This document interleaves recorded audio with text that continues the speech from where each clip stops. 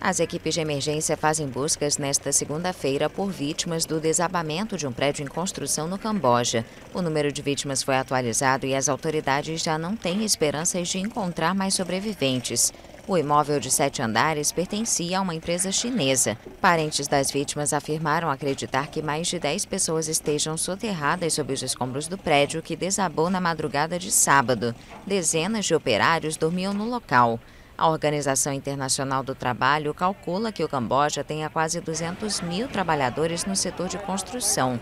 A maioria deles não tem formação e recebe salários diários, sem a proteção de acordos sindicais. Sihanoukville, no Camboja, era uma tranquila comunidade de pescadores até a chegada de mochileiros ocidentais, que foram seguidos por ricos turistas russos. Nos últimos anos, a cidade conhecida por seus cassinos recebeu muitos investimentos chineses, o que deflagrou uma explosão imobiliária. Atualmente há 50 cassinos de cidadãos chineses e dezenas de complexos hoteleiros em construção. A embaixada da China no Camboja expressou condolências e defendeu uma investigação exaustiva sobre as causas do acidente.